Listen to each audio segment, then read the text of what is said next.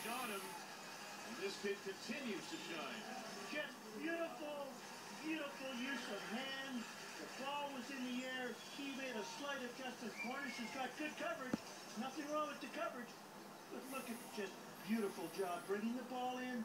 But and there's interference. Pulling the ball in with his right hand with one arm. Wow, what a